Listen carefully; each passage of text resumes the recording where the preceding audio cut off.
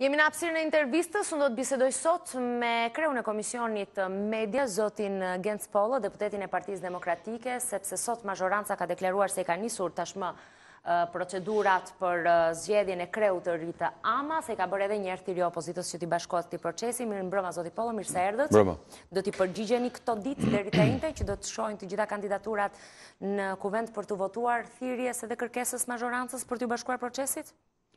Nisma e socialistëve, socialistëve integristëve për të emëruar kryetarin e AMA-s është absolutisht e paligjshme, mhm. ashtu siç ishte e paligjshme edhe shpallja e postit vakant që këta bënë para disa muajsh. është një ndër përpjekjet për të kapur institucionet e pavarura që nuk kanë të bëjnë me qeverinë, është një temë e diskutuar gjerësisht dhe uh, jo vetëm që uh, jemi përpjekur me të drejtë ta pengojmë këtë gjë që sjell dëme konkrete për qytetarët shqiptarë dhe shpresoj të kemi pak minuta me ju për ta shpjeguar. Do t'i shpjegojmë patjetër. Në mënyrë që mos mbetet në kuadrin e debatit abstrakt, mazhoranca kap institucionet që për qytetarin e thjeshtë mbase thotë gjë, po mbase dhe nuk thotë ndonjë gjë dhe do ta kundërshtojmë edhe më tej.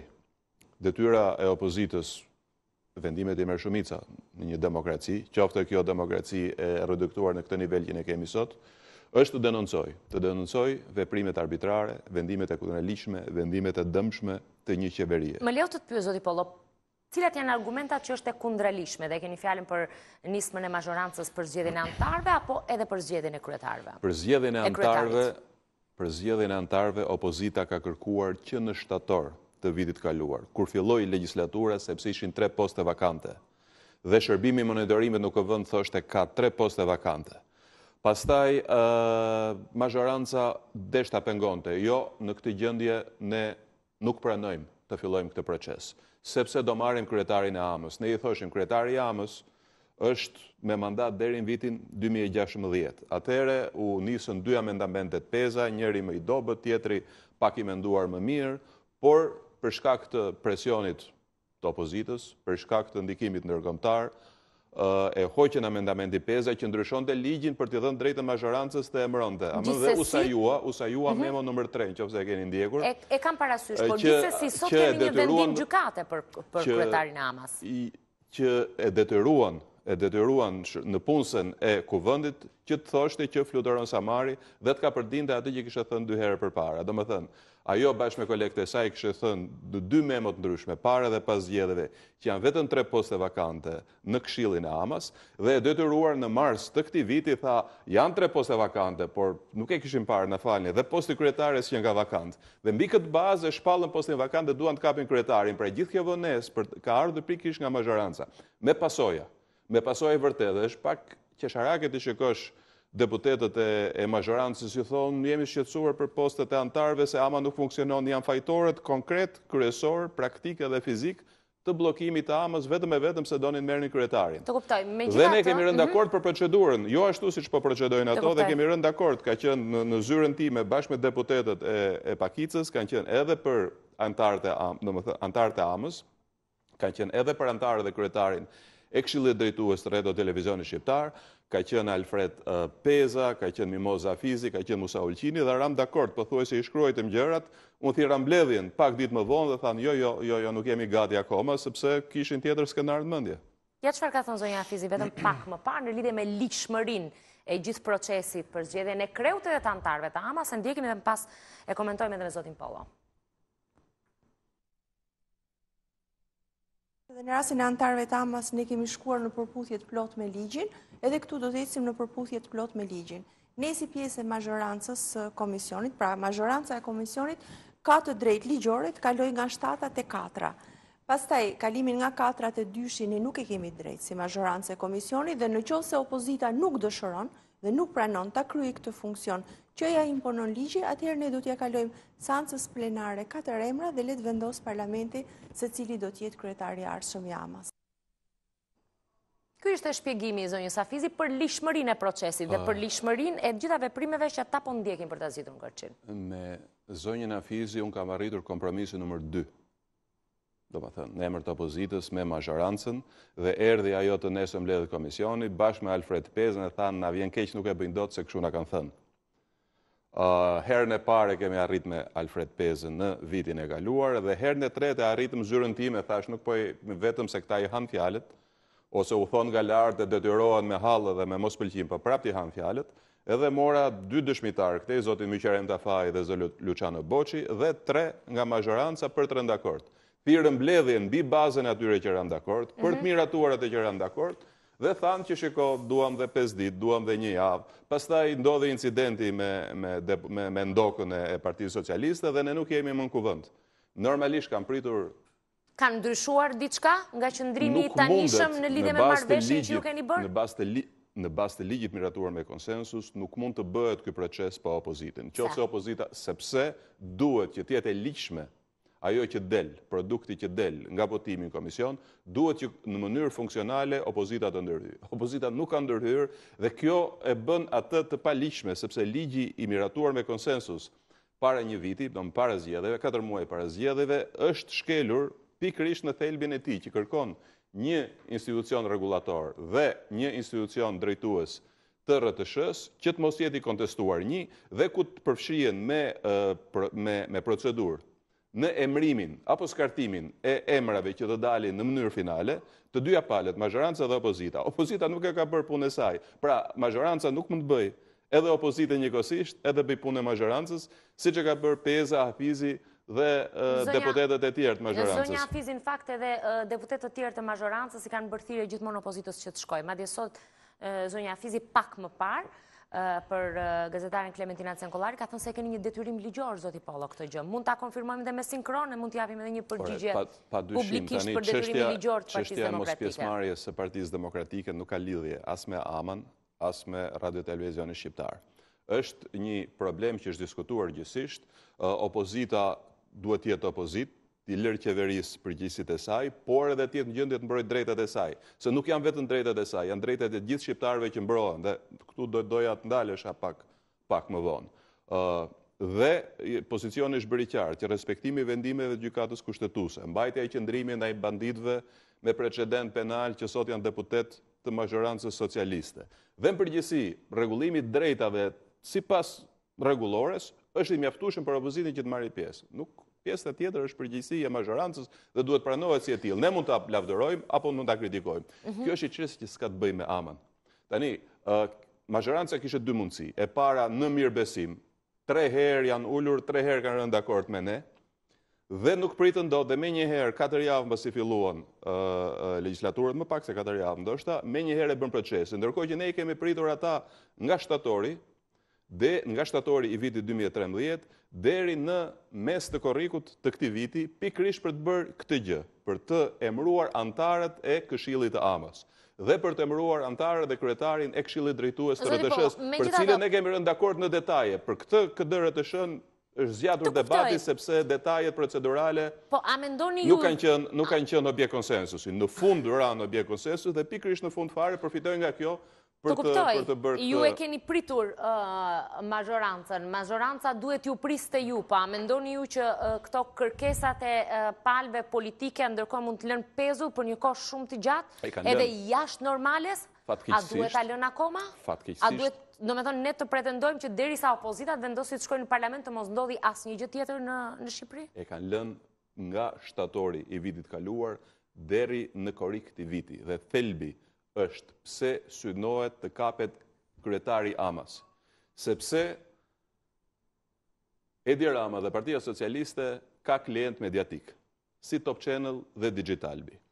Dhe ky i fundit operon në mënyrë të paligjshme. Ka kapur breza frekuencorë të cilët janë pronë publike. Dhe bën, me sa jam informuar, dhe bën shkelje edhe më të rënda. Vjedhje që kushtojnë miliona xhepave të qytetarëve.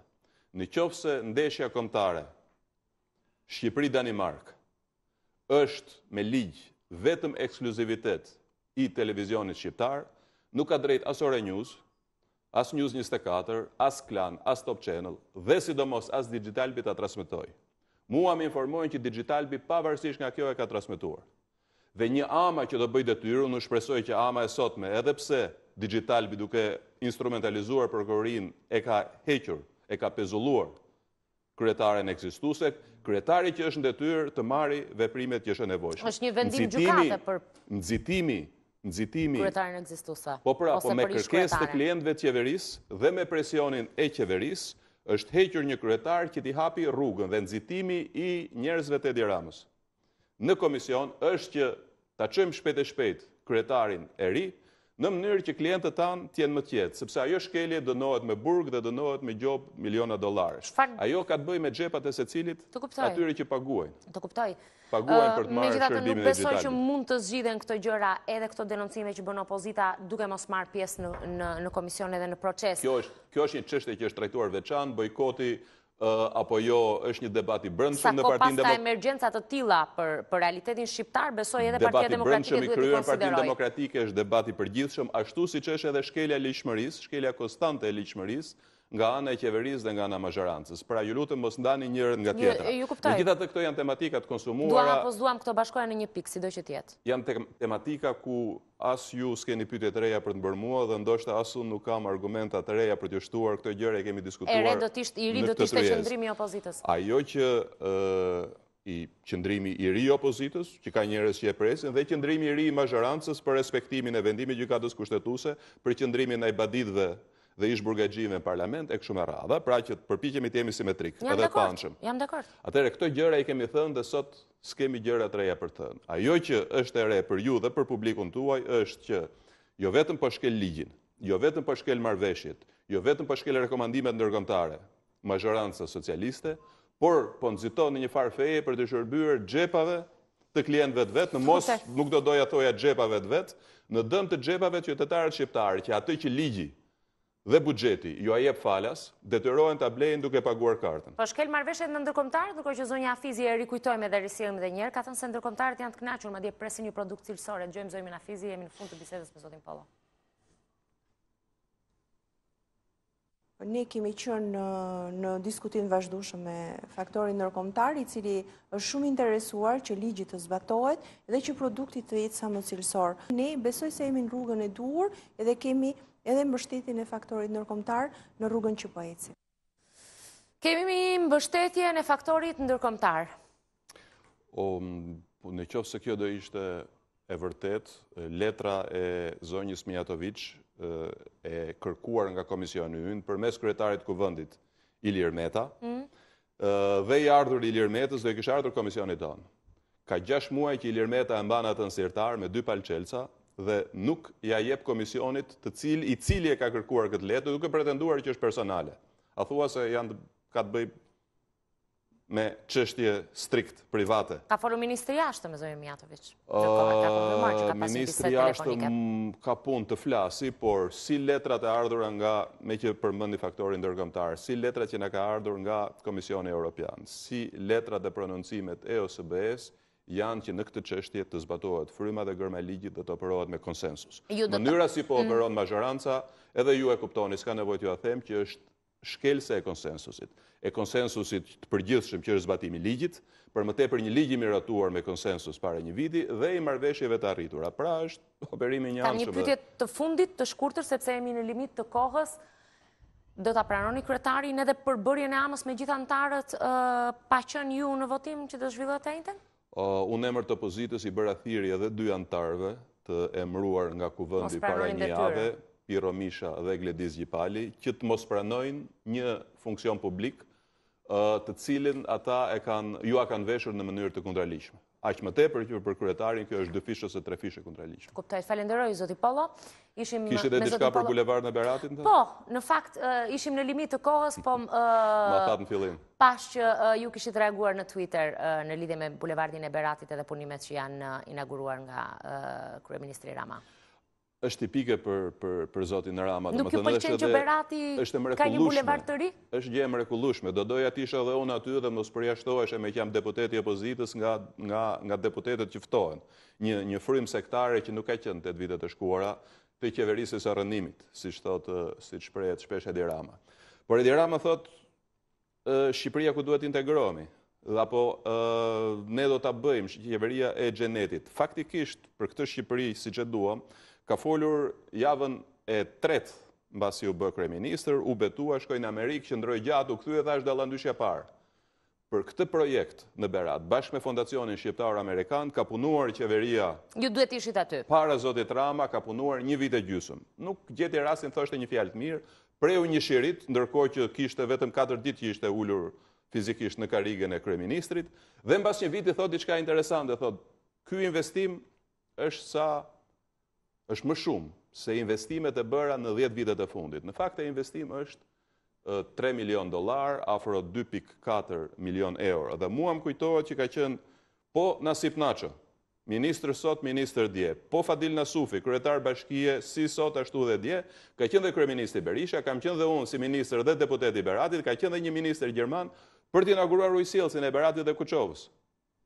i cili kushton 11.2 milion euro. Domethënë, mjafton, kjo është një aritmetikë e veçantë. Çështja është që Edi Rama ka një problem me shifrat, ka një problem me përmbajtjet, atij i pëlqen batuta, i pëlqen fasada, edhe ajo e bukur është, në qoftë se është estetike. Por qeverisja është krejt ndryshe nga kjo gjë, dhe ky është një problem. Faleminderit, Zoti Polo, ndërkohë ja çfarë ndoqët në këtë edicion qendror lajmesh, të dashur miq? Azilkërkuesit po na rrezikojnë rikthimin e vizave, ambasadori gjerman jep alarmin nga Shkodra. Kombëtarja shqiptare mbërrin në Beograd, Serbia blindon me 4.000 policë stadiumin.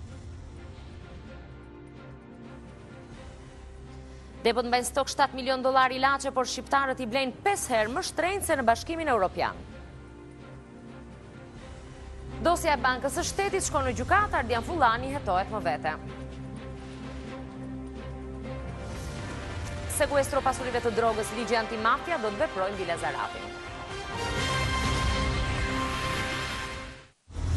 Ora News, të parët për lajmin e fundit. Faleminderit që na ndoqët, mirutakofshim më vonë.